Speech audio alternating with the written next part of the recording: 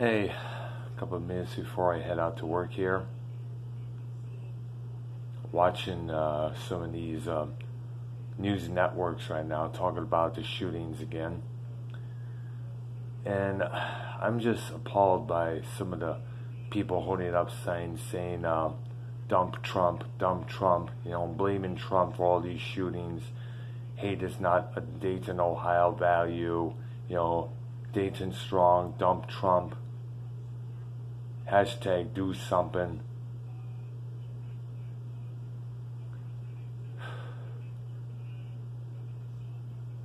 Blaming Trump for everything when it's not. It's not Trump's fault. Oh, here's one saying we can end gun violence. The way to end gun violence is to talk to the people who have the tendencies to pick up guns instead of their problems. Settling bullets, using bullets as a way of settling uh, whichever personal demon they have inside.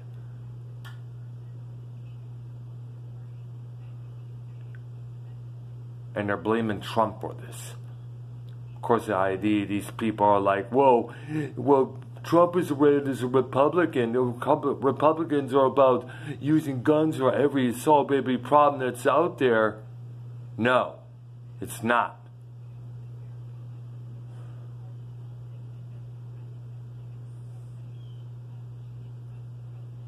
Don't blame Trump for these shootings.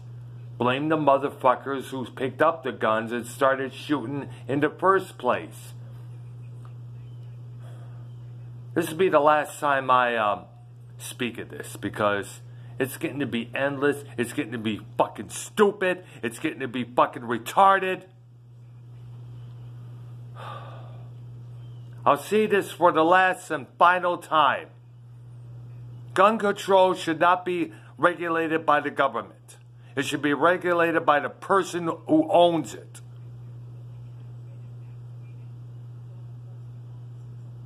Don't blame Donald Trump for those shootings. Blame the motherfucker who pulled the trigger once or more than twice.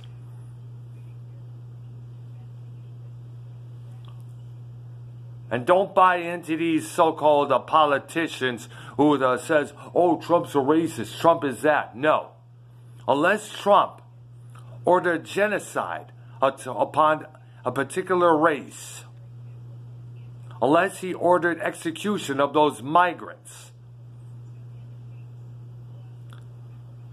unless he ordered all immigrants, whether it's or anybody of a different race, whether it's Japanese, African American, or any of that, to be to be routed up and taken back to their home countries, unless he is provoked to that or ordered that, then he's not a racist. Think about that.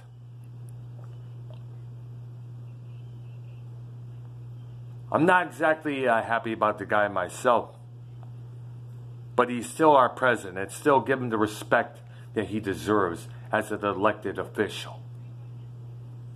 But sadly, these fuckers who grew up in the 1990s, you know, believing that everything should be liberal, everything should be, um,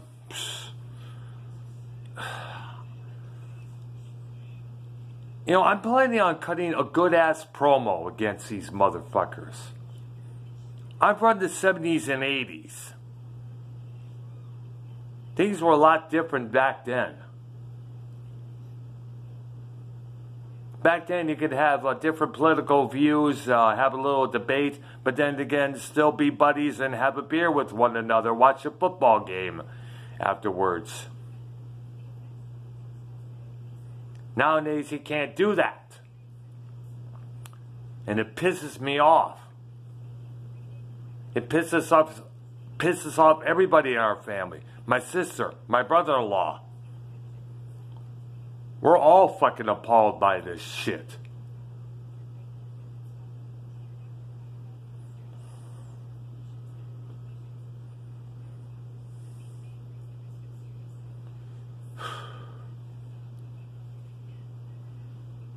And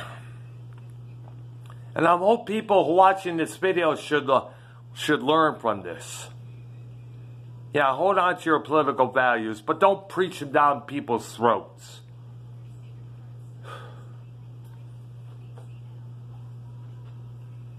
I'm going to do this.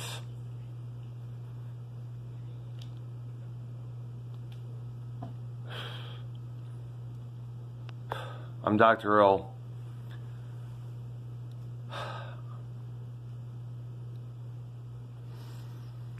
I gotta get to work, man. I am disgusted right now. I'll see you cats later. Probably make a video later on tonight when I get home from work. Subscribe to my channel. Leave the comments below. I'll see you later.